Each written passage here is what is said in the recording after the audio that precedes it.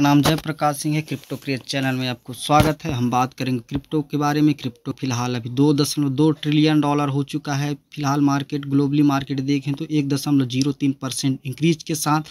कल की बात करें तो कल कम से कम one four one fifty four trillion के आसपास चल रहा था, लेकिन आज फिर दो दशमलव दो ट्रिलियन डॉलर हो चुका है। पहली बार इतना रिकवरिंग देखने को मिल रहा है दोस्तों। और भी हम अल्ट हैं जो इसके बारे में हम रिकवर करते हुए देख सकते हैं, जैसे अल्ट कॉइन जैसे हम बात करते हैं Ethereum Tether B N B U C D coin सभी मार्केट में हल्का हल्का रिकवरिंग करने के देख रहे ग्रीन रंग का आप देख सकते हैं कि ग्रीन रंग में थोड़ा सा रिकवरिंग हो रहे हैं।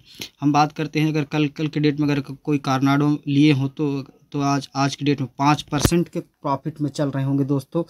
और कारनाडो अगर कोई अगर कल बाय करके रखें, इसके बाद हम बात करते हैं कारनाडो के अलावा फिर सोलाना।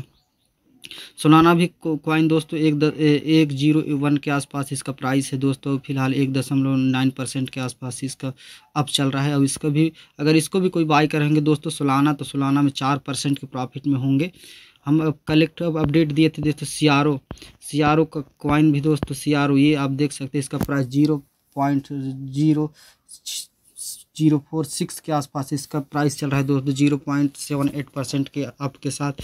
हम आने वाले अच्छा समय में रिटर्न अच्छा करके दे सकता है। अगर लॉन्ग टाइक सनेरियो के हिसाब से बात किया जाए तो दोस्तों तो इसका प्राइस फिर कल के डेट में चौंतीस रुपये था। आज की बात करें तो पैंतीस के आसपास चल रहा है और सी आर लॉन्ग टाइम के लिए अच्छा है, आने वाला अच्छा रिटर्न दे सकता है।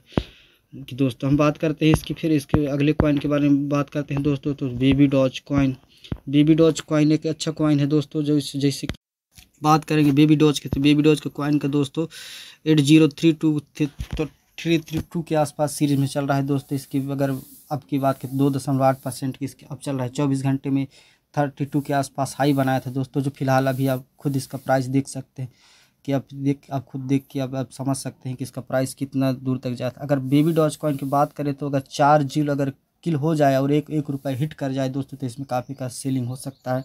इसका प्राइस भी हाई हो सकता है। सी बाइनू के आसपास आ सकता है इसका प्राइस।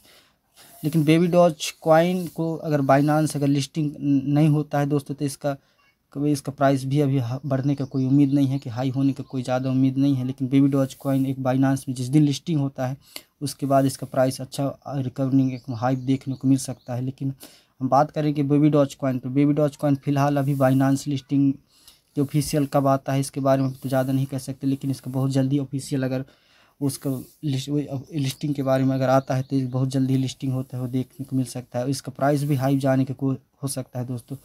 अब इसका बाइनांस लिस्ट करेंगे, इसके साथ इनका टीम भी इनको बर्न कर रही है। इनकी टीम भी बेबी डॉच कॉइन के जो फ़िलहाल बर्न कर रही है, इसको सी बाइन बेबी डॉच कॉइन को। और ये बहुत ही अच्छा खासा प्रॉफिट और रिटर्निंग देखने को मिल सकता है। फ़िलहाल मार्केट में इसका रिकवरिंग रेट अभी अच्छा खासा दिख रहा है, जैसे कि अभी इतना ज़ीरो लगा है, अगर चार पाँच ज़ीरो अगर निकल जाते हैं दोस्तों तो ये एक दो रुपए को आराम से हिट कर सकता है।